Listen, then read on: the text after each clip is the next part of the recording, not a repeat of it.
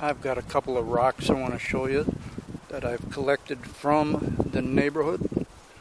See all those sparklies? It's difficult to tell in the viewfinder, but uh, see all, if you see can see all the sparklies when you look in the river and you see all these sparklies in the water. You're looking at mica schist.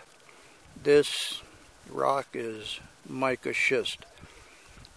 Uh, you would find these uh, kind of, if you found these kind of rocks in the neighborhood, uh, they kind of go along with the possibility of gold.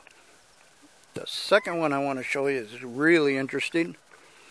It um, has quartz on this one side, quartz on the other side, and in between is this beautiful representation of iron sulfide or iron pyrite. I don't know if you can see all the sparklies. Uh, you see the uh, pyrite cubes. Uh, there's there's literally dozens and dozens of them. It's hard to hard to tell if they're sparkling for you. But uh, Clay Diggins or anybody else, what is this host rock that the pyrite is in?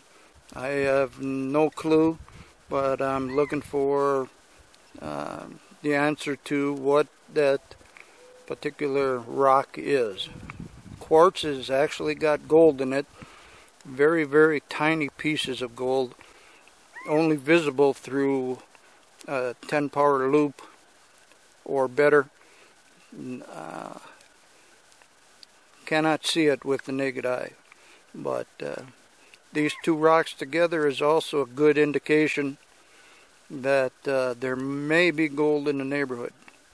Pyrite, iron sulfide is a good indicator, and of course quartz. And uh, I already know there's gold in in this one, but it would be would be very difficult to show the very very tiny specks.